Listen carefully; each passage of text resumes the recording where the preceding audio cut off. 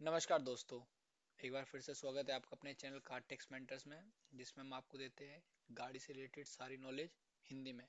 आज का जो हमारा टॉपिक है, बहुत ही ज़रूरी है। आज का जो हमारा टॉपिक है, वो है टायर से रिलेटेड इसमें मैं आपको पाँच टिप्स बताऊँगा जो टायर की लाइफ को इंक्रीज कर देगा।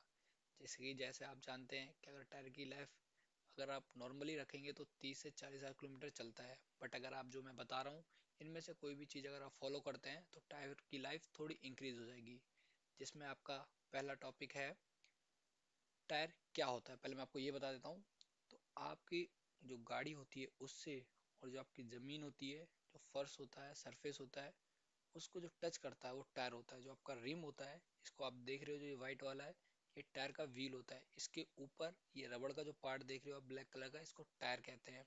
इसकी जो डेप्थ आती है, वो हर मेक की अलग आती है। किसी की छोटी होती है, किसी की बड़ी होती है। बट जो एक नोम्स है उसके हिसाब से जो इसकी डेप्थ है टायर की चेंज करने की 1.6 mm होती है। जब टायर की डेप्थ 1.6 mm हो जाए तो उस टायर की लाइफ खत्म हो गई, उस टायर को रिप्लेस कर देना चाहिए। इससे ज़्यादा टायर चलाने में आपकी गाड़ी को और आपको नुकसान है, क्योंकि ऐसे चलता टायर कभी भी फट सकता है या कभी भी पंचर हो सकता है। तो जो पहला टिप्स है, पहली जो बात है, वो है टायर प्रेशर से लेके।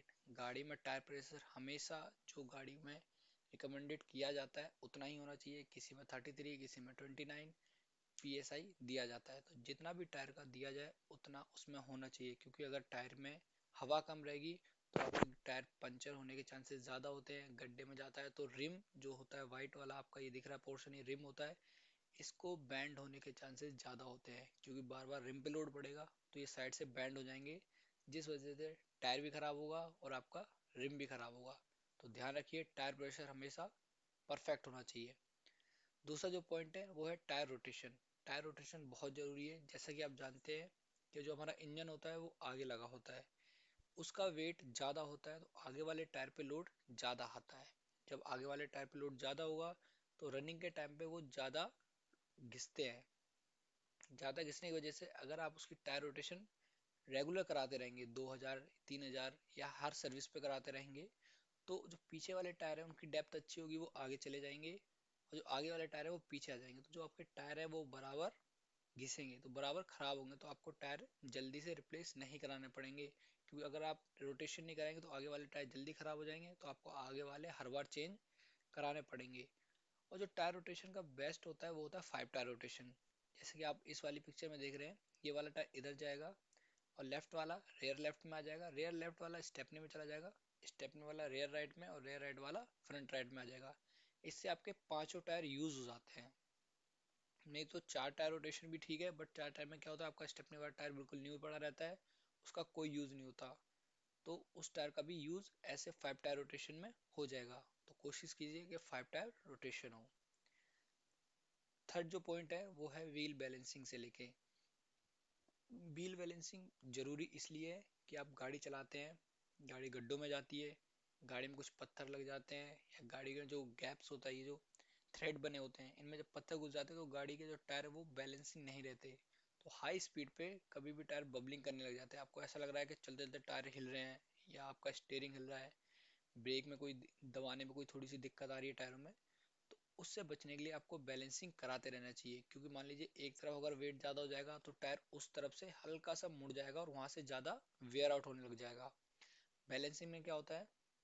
जो आपके थ्रेड्स होते हैं, इसमें जो भी पत्थर लगे होते हैं, उसको निकालने के बाद उसको बैलेंस कर देते हैं। जो आपका टायर होता है, वो कहीं से ज़्यादा पत्थर लगे हैं तो वहाँ पे ज़्यादा वेयर आउट हो गया, कहीं कम है तो उसको बैलेंस करके एक वेट लगा दिया जाता है, जिससे आपका टायर फुल्ली बैलेंस हो जाए, किधर भी, इधर उधर ना झुके। जिससे आपका टायर वेयर आउट हो तो बराबर पूरा टायर हो एक तरफ़ से ना हो।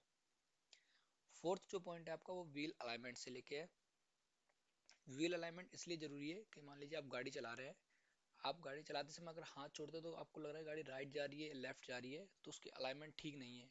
और अलाइनमेंट ठीक होने की वजह से, ठीक नहीं होने की वजह से आपका जो टायर है वो अंदर से खाने लग जाता है। आपने देखा होगा कोई कोई गाड़ी के टायर बाहर से बिल्कुल न्यू होते हैं और अंदर से बिल्कुल ही खत्म हो जाते हैं, बिल्कुल वेयर आउट हो जाते हैं। उनके तार जो अंदर होते हैं टायर के साथ, उसकी जो लेयर होती है वो लास्ट लेयर बाहर आ जाती है।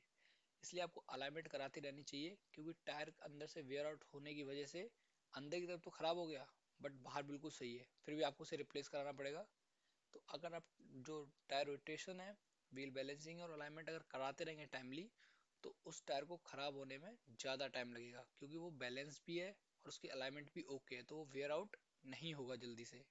इसलिए व्हील अलाइनमेंट भी प्रॉपर कराते रहिए जब भी गाड़ी सर्विस पे जाए।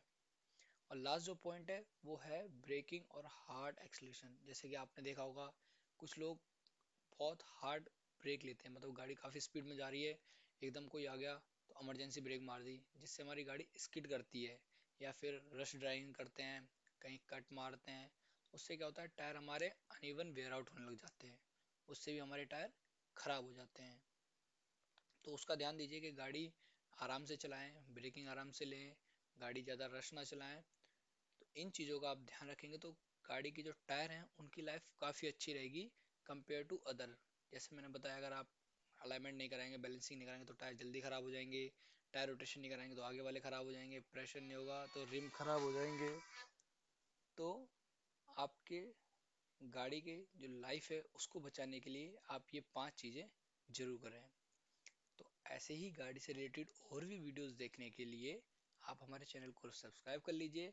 जिससे हम ऐसे ही अच्छी अच्छी चीज़ आपको बताते रहें। Thank you for watching Cartech Mentors अपने दोस्तों को भी शेयर कीजिएगा। अगर कोई भी दिक्कत हो, कुछ भी जानना हो, किसी भी बारे में, गाड़ी के रिलेटेड किसी भी बारे में तो आप हमें कमेंट्स कर सकते हैं। चैनल को सब्सक्राइब करना ना भूलें। Thank you so much